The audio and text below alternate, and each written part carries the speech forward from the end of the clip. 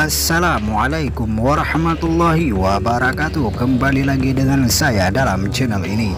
Pada kesempatan kali ini dan pada video kali ini juga Kita akan saling berbagi informasi Yaitu tentang kabar yang begitu heboh saat ini Mengenai informasi yang dikatakan bahwa Selfie Yani ataupun Selfie Yama Yang dikabarkan sedang mengalami gangguan jiwa Bagaimana fakta dan kebenaran tentang informasi tersebut? Simak videonya sampai habis.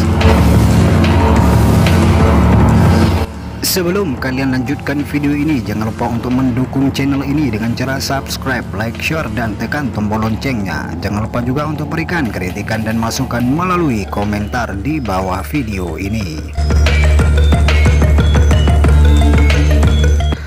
Beredar informasi selfie Lida atau selfie Yama mengalami gangguan jiwa dan dibawa ke RSUD Lama Mala Sopeng dari lokasi karantina corona di Watan Sopeng, Sulawesi Selatan. Sebelumnya, selfie Lida ataupun selfie Yama dikarantina di Hotel Delta Ompo Watan Sopeng.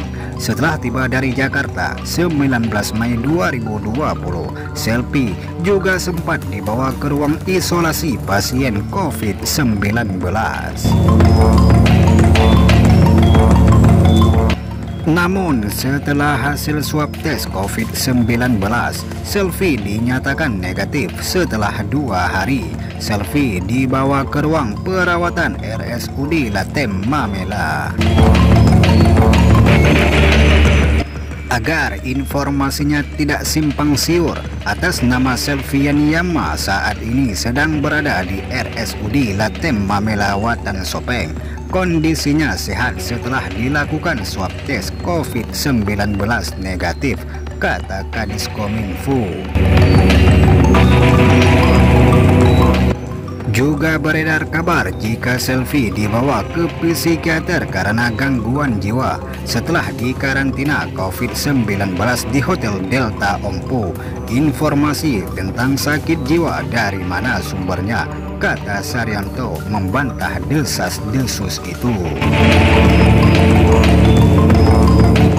Setelah video yang beredar selfie sedang mendorong motor, artis jebolan dan sang juara Liga Dangdut Indonesia 2018 itu tiba-tiba ramai di media sosial. Gara-gara mudik dari Jakarta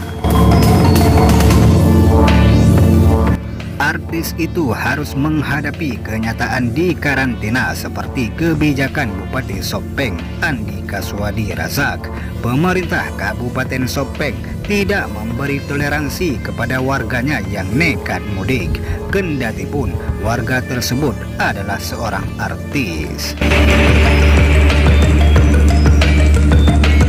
Meskipun Selfie Yama memiliki surat keterangan berbadan sehat Dinas Kesehatan Kabupaten Sopeng tetap melakukan pemeriksaan kesehatan ulang kepada Selfie. Pemeriksaan kesehatan tetap berjalan dan terkontrol oleh Dinkes. Sebelumnya, kedatangan selfie Lida di tanah kelahirannya sempat menjadi buah bibir lantaran dirinya tak ingin dikarantina. Namun, setelah dikatakan dengan dua pilihan, yaitu kembali ke Jakarta atau dikarantina, akhirnya Selfie lebih memilih untuk dikarantina saja. Sejauh ini kondisi Selfie Yama di tempat karantina baik-baik saja.